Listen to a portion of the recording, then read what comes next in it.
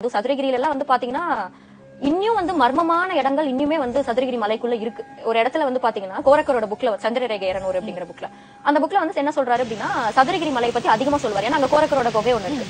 So அங்க வந்து ஒரு சின்ன சதுரகிரி அவர் எக்ஸாக்டா அதை மென்ஷன் பண்ணல. அவர் வந்து மலைவாகனம் அப்படின்ற புக்லயும் வந்து இதை சொல்லியிருக்காரு. ஒரு சின்ன வந்து ஒரு ஊசி போடக்கூடிய அந்த துளை துவாரம் மட்டும் வந்து ஒரு சின்ன ஒரு இடம் இருக்கும். அந்த ஸ்கிரீன் ஸ்கிரீன் மாதிரி இருக்கும். ஒரு இன்விசிபிளா இருக்கும். அந்த இடத்துல ஒரு சின்ன ஒரு ஹோல் இருக்கும். அந்த இடத்துல போய் வாசி பண்ணி வாசி யோகம் அது வாசி யோகம் கிரியா யோகம் ஏதோ ஒண்ணு அந்த மாதிரி வாசி யோகம் பண்ணி ஒரு சில விஷயங்கள் நீ வந்து சொல்லும் போது நீ இன்னொரு டைமென்ஷன்ஸ்க்கு போயிருவ. அப்படின்னு சொல்றாரு கோரக்கர். அந்த இடம் இன்னும் வந்து சதுரகிரியில இருக்கு. இன்னமும் இருக்கு. இன்னும் இருக்கு. இன்னும் இருக்கு. வெள்ளிங்கிரியில இந்த மாதிரி நிறைய மர்மங்கள் நிறைஞ்ச இடம் என்ன- என்னென்னமோ இருக்கு. நம்ம எல்லாரும் வந்து அந்த பாதைகள்ல போறோம் அந்த பாதைக்குள்ளேயே வரும். யாரும் வந்து அந்த டீப்பான ஃபாரஸ்ட்குள்ள வந்து போறது கிடையாது. அது மீறி போனாலும் திரும்பி அவங்களும் வர முடியாது. எப்படியோ வழி மறந்துடுறாங்க. அவ்வளவு சீக்கிரம் அவங்களும் அந்த என்ட்ரி எல்லாம் பிளாக் பண்ணி வச்சிருப்பாங்க. சேஃப்டி கிடையாது ஆமா. கூட தடை செய்யப்பட்ட பகுதி கண்டிப்பா. இருக்கும் இருக்கும்.